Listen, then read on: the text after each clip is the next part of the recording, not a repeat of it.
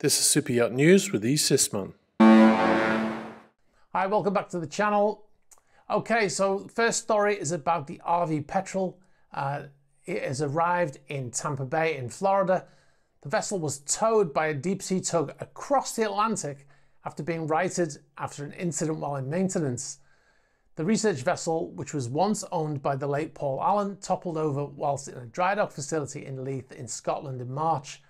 It injured uh, 25 people, including dry dock workers who were working on board at the time.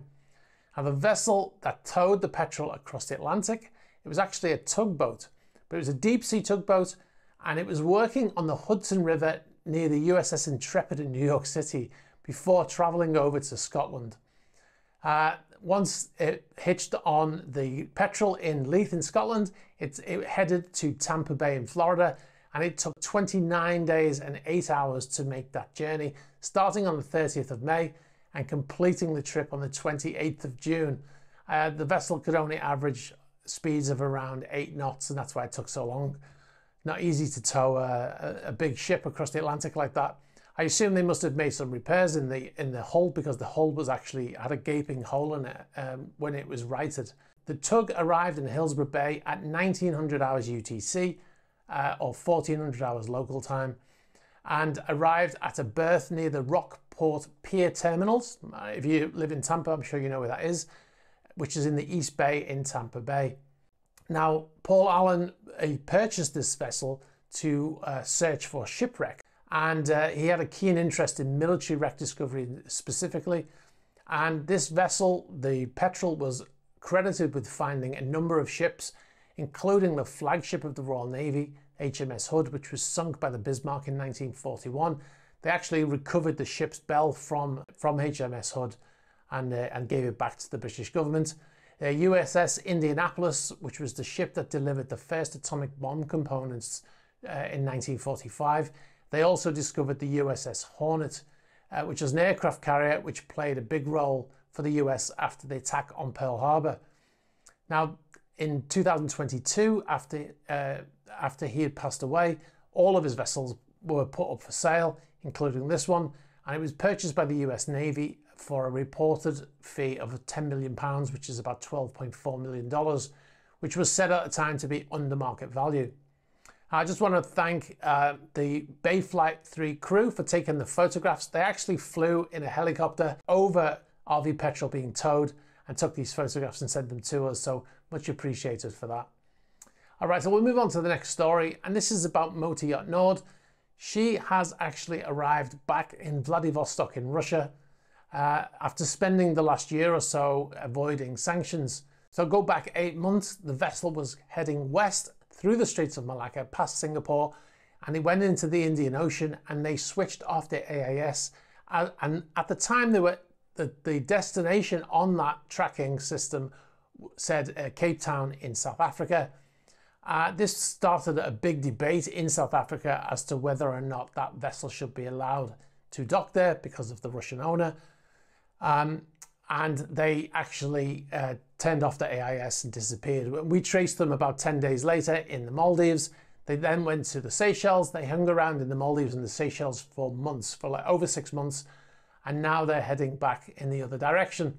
Anyway, the crew of the yacht obviously feels safe on that side of the world because as they entered the Malacca Straits, they switched their AIS back on and they went through the straits past Singapore and headed in that direction. However, they did have various different places as destinations, including South Korea uh, and some places in China, and they changed their AIS destination as many as 15 times before finally arriving in Vladivostok in Russia they arrived in Vladivostok at uh, sort of 2000 hours UTC time on the 27th of this month.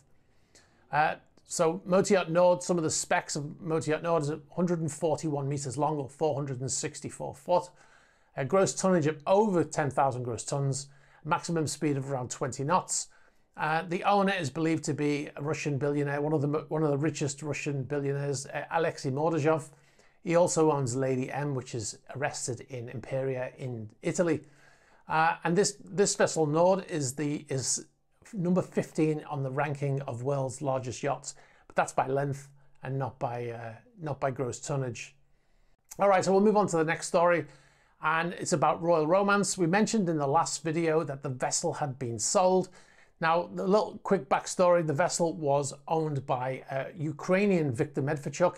He was the leader of the opposition political party in Ukraine, but he was arrested for treason and he was actually waiting to go to trial when the invasion of Ukraine started. And he fled, was captured, and then he was handed over to Russia in a prisoner swap. Now, his yacht was in Croatia at the time and it was seized by the Croatian government, and the Croatian government then handed it back to Ukraine to, you know, to do whatever they wanted to do with it. The Ukrainian government apparently has sold it, but it's really strange that they've sold it to a Russian. Uh, I suppose the way they look at it is they need the money more than they need to worry about who they're selling it to, right? Um, as you can see, the photographs here, it shows that the vessel is still in Trogir in, in Croatia. We weren't sure because it had been sold. We weren't sure if it was still there or not. Uh, and we, we had a, a, shout out on the channel to, to, anybody who might be in that area. And one of our intrepid subscribers headed down there and uh, took these photographs. He said it was very hard to get any photographs of, but he even asked at the gate and they did confirm that it was indeed Royal Romance. So yeah, so it looks like she's not going anywhere anytime soon. Now, one of the things that I am interested to know is if that vessel will end up back with Mr. Medvedchuk because it's been bought by Russian. It could very easily end up back with Mr. Medvedchuk, assuming he's still got uh, his access to his bank accounts in Russia. Please be sure to check out our new channel called Super Yacht News. You can find it by typing at Super Yacht News into YouTube. You'll get to see all the news from here, but in bite-sized chunks. So if you're in a hurry, uh, you can watch individual stories in separate videos.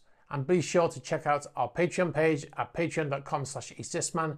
You'll find behind the scenes videos, including the full tender ride around the arena in the Monaco Grand Prix, you get to see other exclusive videos not published on YouTube, like the Patreon chat series and the Atlantic vlog series. You'll get early access to features advert free, and you'll get to ask questions for Patreon only Q and A's. We just published one a couple of weeks ago, so you get to see that on there right now. All right, guys, if you've got any information for us, uh, please be sure to get in touch through the normal fashions. You can get us on the About page of the YouTube channel. You can get us on Instagram, on Facebook Messenger. You can also get us on Threema. Be sure to like this video, very important uh, hit the subscribe button and hit the bell for future notifications. All right, guys, have a great weekend and I'll catch up with you soon. Bye bye.